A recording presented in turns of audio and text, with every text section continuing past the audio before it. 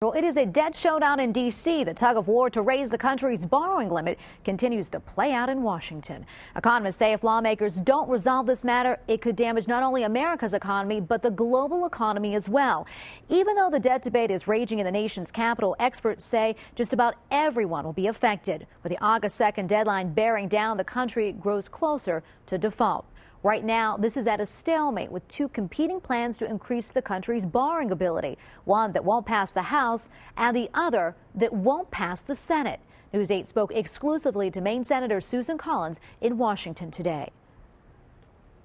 Make no mistake about it, it would be a crisis if the United States, for the first time in its history, were to default on its debt.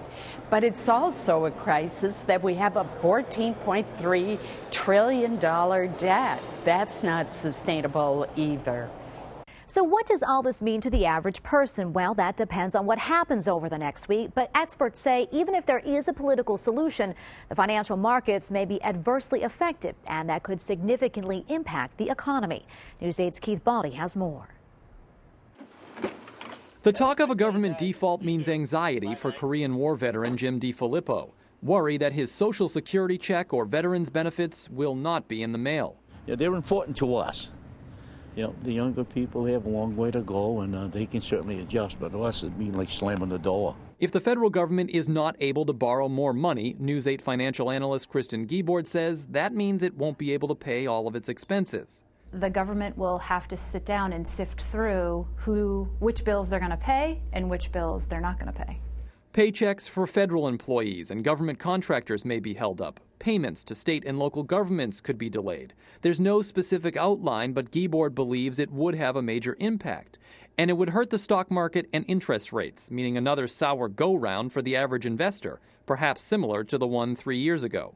I think that the the immediate or short term impact will be in their account balances, um, their investment or retirement accounts. But at this point, some of that may happen even if an agreement is struck in Washington. Giebord says if the compromise is not significant and does not address long term deficit reduction, the U.S. bond rating could be downgraded anyway, meaning financial gurus declare it's riskier to invest in the U.S. If that happens, interest rates will climb, so it will cost more to get a mortgage or a car loan, and the economy could once again be in a shambles. For individuals, it's going to be more expensive to borrow money, so we're less likely to do it. And for businesses, which are really driving the economy and who we want to see hiring new people, um, it's more expensive for them to borrow so that they can expand and increase their business.